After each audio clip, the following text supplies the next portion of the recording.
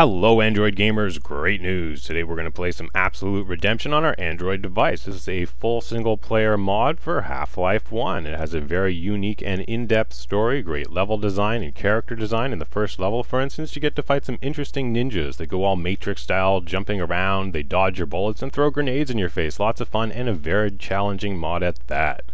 If you haven't heard, you can play fully Half-Life 1 on Android with Xash 3D. Check out my full instructional video here if you haven't heard of it. In addition, don't forget to check out my playlist for all the Xash 3D ports that you can play on Android. I've also got a video about doing cheating and running mods, so don't forget to check that out. In order to get started, you want to get the Xash 3D APK installed on your Android device. Next, you'll want to have the game data placed in the proper location. You can download it in the video's description, get the AR folder, and place it into your internal memory in the Xash folder. Next, launch the Half-Life application, and in the command line type minus console to enable the console, space minus game space AR to launch the game. You can launch any game in the folder by typing minus game and the folder name. Launch up the app and let's play the game. Welcome to the HEV Mark 6 protective system for use in hazardous environment conditions. Communications interface. Hey, Mr. Freeman. Please follow me and we'll get you suited up. Activated. Vital sign monitoring activated.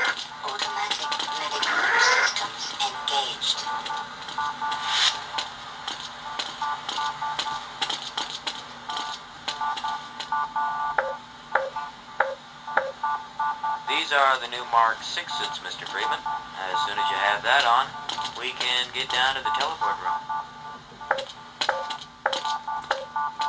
Now yours is the one on the left. I mean, uh, right.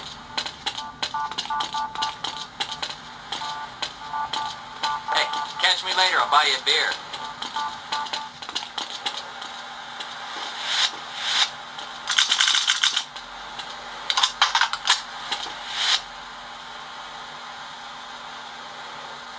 So they've got you working on this thing with the moths, huh, Mr. Freeman?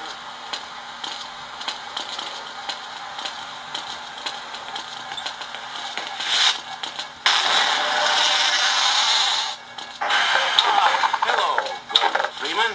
Why do we all have to wear these ridiculous ties? Aren't you a bit worried about that exponential cascade scenario we discussed? I don't see it that way.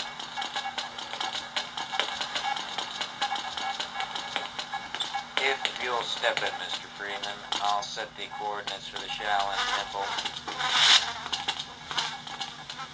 Sorry, Mr. Freeman. We didn't want to repeat of that little mishap.